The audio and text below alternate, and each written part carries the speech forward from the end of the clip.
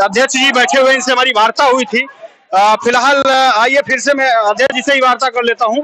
Camera man, आप एक बार सामने आइए। हमारी आज लगभग चार दिन पहले ये अध्यक्ष जी से बात हुई थी और सर ने कहा था कि जो है, हमें जो है, प्रशासन से, शासन से जो है, आश्वासन मिला है। लेकिन उसके बाद में आज जो देखने को मिल रहा है, काफ़ी जो है जोश नज़र आ रहा है यहाँ पे आंदोलनकारियों के अंदर। नमस्कार, सर। देखिए, जैसा कि हमारा पूर्व माननीय मुख्यमंत्री जी के वजी जी से वार्ता हुई थी, उसमें भी चार पाँच दिन का समय दिया था कि आपके सारी मांगे स्वीकार की जाती है और जल्द ही आपके बीच में सक्षम अधिकारी को आदेश लेकर के भेजा जाएगा, धरना स्थल पर और धरने को समाप्त कराया जाएगा। उसके पाँच दिन के बाद पाँच दिन हमने समय और दिया। तब तक कोई नहीं आया, फिर पुनः वार्ता हुई, फिर पाँच दिन का समय मांगा, फिर पाँच दिन का हमने समय दिया। पाँच दिन के बाद फिर दो दिन निष्ठा हो गए, तीन दिन हो गए। अभी तक कोई सक्षम अधिकारी हमारे शासनादेश लेकर के नहीं आए। इन सत्तर दिनों में कल भी हमने एक साथी को अपने खोया है। हार्ट अटैक से मृत्यु हुई, हमारे अधिकारियों की प्रताड़ना की वजह से हुई है। टॉर्चर किया जाता है, उनको मानसिक डिप्रेशन में आते हैं, जिसकी वजह से हार्ट अटैक के शिकार हो रहे हैं। हम इस तरीके से अपने कर्मचारी साथियों को मौत का बर्दाश्त नहीं कर पाएँगे। आकस्मिक निधन हो रहा है जिस प्रकार से, ये हमारी समस्याओं का निस्तारण नहीं है। हमें अब वार्ता किसी से नहीं करनी हमारे आश्वासन नहीं, हमें शासनादेश चाहिए, शासनादेश हमें दिया जाए और धरने को समाप्त कराया जाए।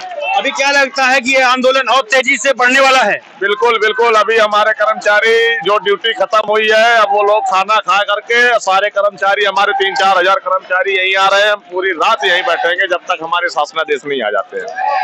निरंतर संघर्ष अब ट्वेंटी फोर आवर्स जारी रहेगा। आज सर कितने दिन हो गए आप लोगों को यहाँ पे आंदोलन करते हुए? आज इकहत्तरवा दिन है seventy five one days seventy one days हो रहे हैं आज।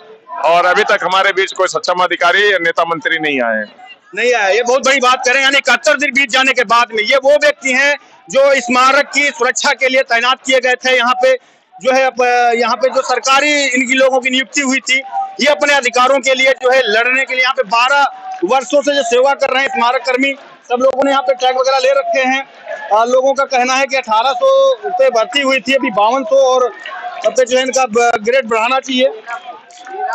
जी। तेरह सौ पे भर्ती हुई थी। तेरह का तेरह सौ ही ग्रेड पे आज भी हम लोग पा रहे हैं। तेरह साल नौकरी का हो गया। जो पैसे की बढ़ोतरी नहीं की गई। शासन सत्ता की बेरुखाई का टोटल नतीजा है कि शासन सत्ता के द्वारा अधिकारियों से हम लोगों का शोषण करवाया जाता है।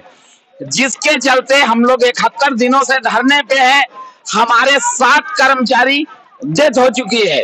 उनको कोई कल भी एक भाई साहब की जो है डेथ हुई है जो मुझे जानकारी प्राप्त हुई। जी कल भी डेथ हुई है जो कि बहुत ही निंदनीय विषय है। मृतक का आश्रित हमारी बोर्ड बैठकों में पास हो चुका है। पुनरक्षित वेतनमान और सेवेट पे कमीशन हमें प्राप्त हो चुका है बजट मिला है हमारे पास। लेकिन सरकार केवल खर्च करने का आदेश नहीं दे रही है जिस कारण अधिकारी उसका लाभ बराबर उठा रहे हैं। हम लोगों की तरफ़ जो ये उदासीन रवैया है उत्तर प्रदेश शासन का, ये महँगा ना पड़े इस इलेक्शन में, क्योंकि दिक्कतें पैदा होंगी।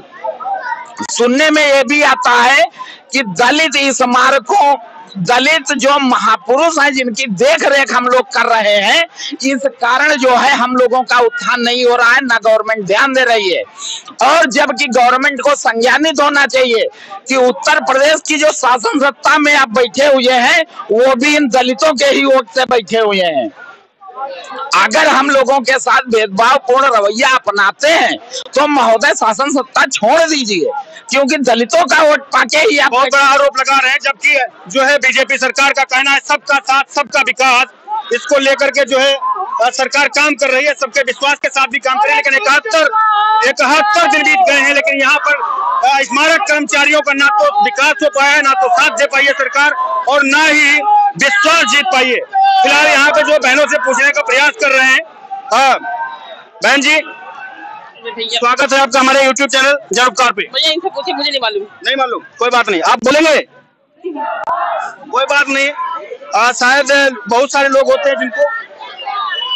आइए जरा जोश में बोल रही हमारी बहन जी बोले इनसे बात करते हैं। जिंदाबाद जिंदाबाद। आइए थोड़ा एक मिनट आपसे बात करते हैं। कर्मचारी एकता। जिंदाबाद इधर आइए। सामने से आ जाओ। कैमरामैन सामने आ जाइए।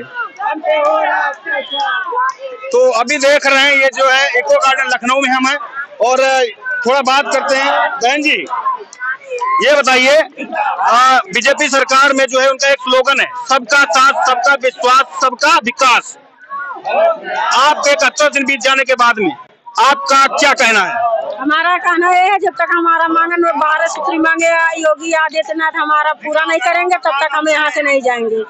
हमारा बारह सूत्री मांगे बारह तेरह साल सर्विस करते हो गया हमारा आठ सौ करोड़ का घोटाला जो दस परसेंट करता है वो हमारा घोटाला हो गया। घोटाला हुआ है उसका भी कोई खुलासा नहीं हो रहा है चीज़ों को दबाया जा रहा है और भाई साहब आइए। भाई साहब बीजेपी का नारा है सबका साथ सबका विकास सबका विश्वास। जी सर।